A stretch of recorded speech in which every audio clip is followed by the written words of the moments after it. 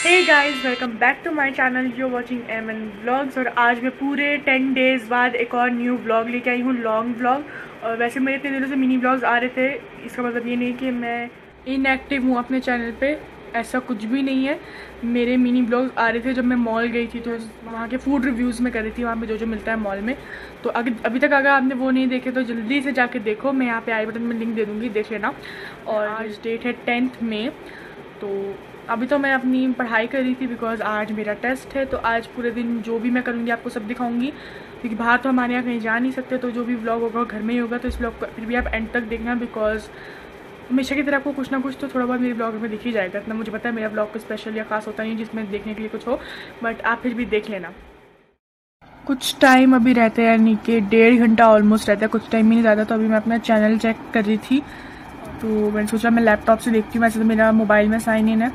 सो so, वैसे तो मैं रेडी हूँ मैंने ब्रेकफास्ट भी कर लिया है लेकिन अब मैं आपसे मिलूँगी लंच के टाइम पर मैं आपको दिखाऊँगी लंच में मेरे खाने के लिए क्या है Many months later. गैस आप मेरी कंफ्यूजन दूर करो आप मुझे कमेंट करके बताओ कि क्या मुझे अपने पहले जैसे चैलेंजेस स्टार्ट दोबारा करने चाहिए यानी कि जो पहले मैं ट्वेंटी फोर आवर्स चैलेंजेस करती थी गेस द चैलेंजेस करती थी वो मुझे दोबारा सीरीज़ स्टार्ट करनी चाहिए या नहीं Later that same evening. अब हो गया है डिनर टाइम यानी कि रात हो गई तुम लोग आए हैं यहाँ पे डिनर करने और मैं आपको थोड़ा सा दिखा रही हूँ यहाँ पे रेस्टोरेंट्स ये है मेरा खाना जो कि मैंने ऑर्डर किया था। अब मैं पी रही हूँ मैंगो आइसक्रीम शेक बिकॉज़ खाने के बाद तो सबको ही मीठे की क्रेविंग होती है मुझे भी हुई थी। The next day. तो ये देखो आप बाहर का व्यू मुझे लग रहा था कि बाहर मौसम हो रहा है लेकिन जब मैंने देखा तो इतनी तेज धूप निकली हुई थी।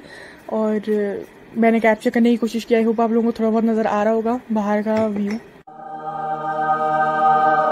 सो गाइज़ आपको ये कैट मेरे चैनल पे वेलकम कर रही है और हाई भी कर रही है। आप लोग भी कमेंट सेक्शन में इसको एक हाई लिख देना। चलो अब अब चलते हैं अंदर।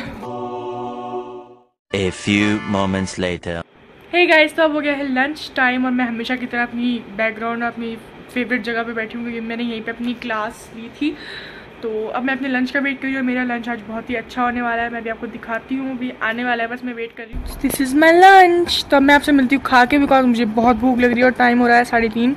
और मैं लंच थोड़ा लेट करती हूँ, उनके क्लास के बाद करती हूँ। सो लेट्स ईट टुगेदर आप भी आ जाओ।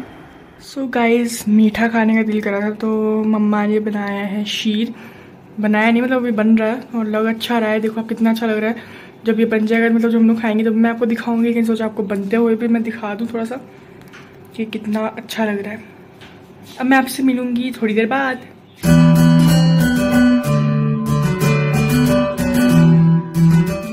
तो अगर आप लोगों को ये व्लॉग पसंद आए थोड़ा सा भी तो इस वीडियो को लाइक ज़रूर करना और अगर आप मेरे चैनल पर न्यू हो या फिर आपको रैंडमली मेरी वीडियो मिल गई है, आपको स्क्रॉल करते करते तो मेरे चैनल को सब्सक्राइब करो, क्योंकि मैं और भी इससे भी अच्छे अच्छे व्लॉग्स लाती रहती हूँ तो आपको अच्छे लगेंगे। अगर आप देखोगे तो मेरी वीडियो में जाना चैनल में, उसमें आपको बहुत अच्छे अच्छे व्लॉग्स मिलेंगे। तो वो भी देख लेना और इसको भी एंड तक ज़रूर देखा है आपने। अगर अब यहाँ तक पहुँच गए तो थैंक यू सो मच देखने के लिए।